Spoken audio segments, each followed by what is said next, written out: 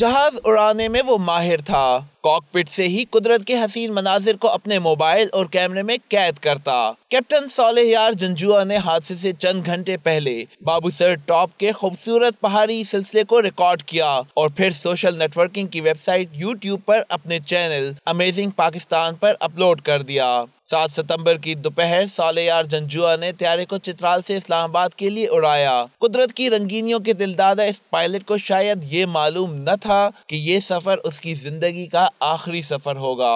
Captain صالح جنجوا ملنسار اور محبت کرنے والے انسان تھے۔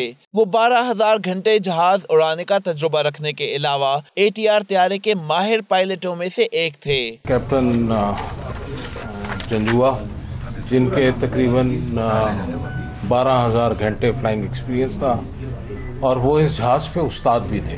ملک سے محبت کرنے والے نوجوان پائلٹ سالیار جنجوا جہلم کے علاقے چکری راج گاہ سے تعلق رکھتے تھے۔ سالیار جنجوا نے سوگواروں میں بیوہ اور چار بچے چھوڑے ہیں۔ Faiz Paracha, ninety two news, Islamabad.